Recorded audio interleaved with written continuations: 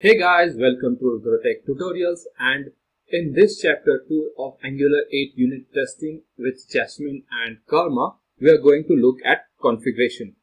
Now, objective of this video is to know how Karma and Jasmine are configured with Angular, what is the role of karma.conf.js and what is the role of test.ts. Now, in previous video, we had created a project called Angular test code using the Angular CLI command ng new.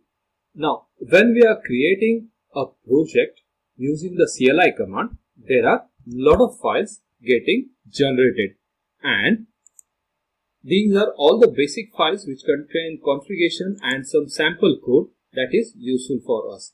So these are the number of files that are generated with the Angular test code project. Now, one of the important file is package.json and package.json contains a part called dev dependencies.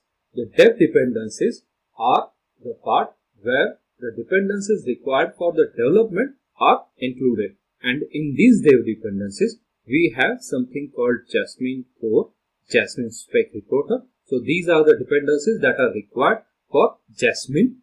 Then Karma, Karma Chrome Launcher, Karma Coverage Istanbul Reporter, Karma Jasmine, Karma Jasmine HTML Reporter. So these are the dependencies that are required to execute Karma.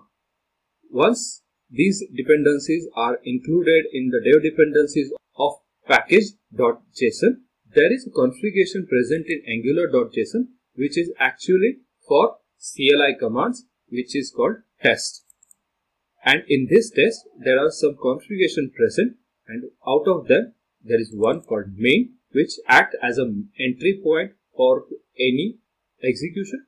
So the test.ts file is included as an entry point for karma configuration and then there is a karma config. So this specifies which configuration file is to be used for karma configuration. So karma.conf.js this is the standard file name that is used for configuration of karma. Now let's go and see what karma.conf.js is.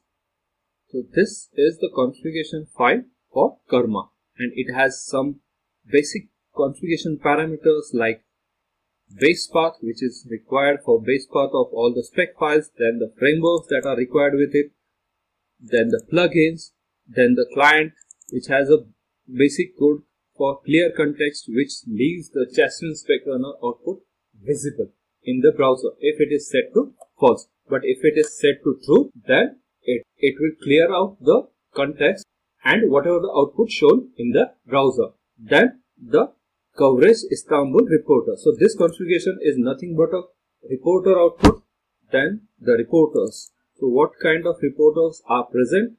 So list of them, then the port where our output will be displayed, colors, whether it should include the colors or not, then the log level. Now in this one it is set to config.log info. So the information log is present there. Then the auto watch. This will check whether the files are changed or not. And if the files are changed, it will help us to run the test immediately. Then the browsers that are required to run the test. By default, there is a Chrome browser included and you can include a lot of other browsers that are present. Then the single run and restart on file change. So there are a lot of options included here and there are further more options that are present on this link. So I'm going to open this link. So this is the URL that we have seen in the configuration file and here you can see there are a lot of options that are present that we can use for configuration.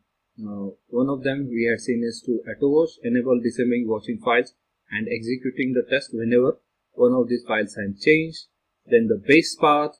So there are a lot of configurations options. You can use them as and when required. We'll not be going in these all the options in detail, but so do remember that these options can be included in our karma.conf.js. Then there is a file called test.ts. This file is required by karma.conf.js as a entry point to execute the test and this file also loads all our spec files that is the testing files into our context that are later executed by Karma. You can go through this file but try not to change this file because this is a configuration file. If you change it and something goes wrong, it might harm your testing. So this is how when a project is created using Angular CLI command ng new. So all the dependencies that are required for Karma and Jasmine are included in package.json. There is a configuration present in angular.json along with karma.conf.js and test.ts files. I hope you have understood this part. If you have liked this video, please do provide us comments that will help us to give you more quality videos and do subscribe. Thank you.